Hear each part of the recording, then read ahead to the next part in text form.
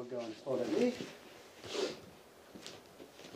So anything in folded leaf, you know, a possible fall. Likely, I mean, I've seen people go over this way, but more than likely, because if they go this way, you have your hands to push back, it's going to be that lateral fall, right, side to side.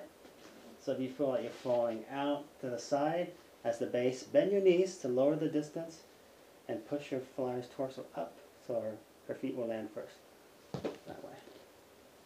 As a flyer, make sure to bring your feet down first. Or if you're falling out this way, touch the mat with your hand, but the object is to support your weight um, before you fall. Okay, so be mindful of that. Okay, let's do folded leaf into walnuts. A nice, check out her straddle pike. Very nice indeed. Makes it very easy for me to balance her, right? And my feet are tucked in really close to her hips so that's comfortable. Um, we'll go hands between my shins. You'll diamond your legs and grab your own feet. We call it Baddha Konasana over diamond.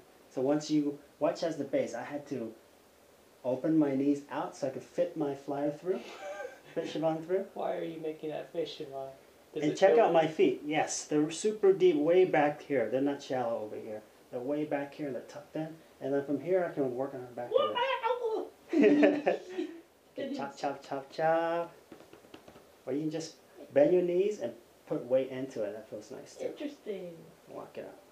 And this is a, a transition. This helps you to get from here into the next transition, like tabletop and different things. But do this first. Knees out, bend them in, push them up like that. Oh yeah, I can see how that would be a transition.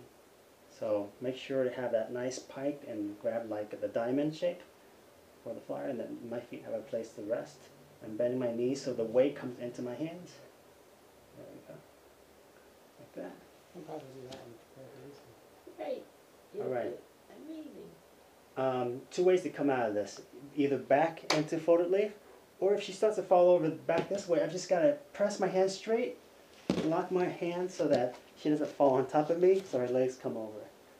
Let's demo again. I don't remember how we get into this. We'll go forward leaf. Hold Oh. it you, you, did, you did the 360. Watch my feet again. Tuck deep. She's gonna walk through. I'm bending my knees through, and then arm straight. All right, let's go from here back to forward leaf. Okay, you'll stay in that baby bat. I'm gonna bend my knees out. You're gonna fit through, and then you can kick your legs in. Both. Okay, hands. Come down. Anything I can clarify? Let's.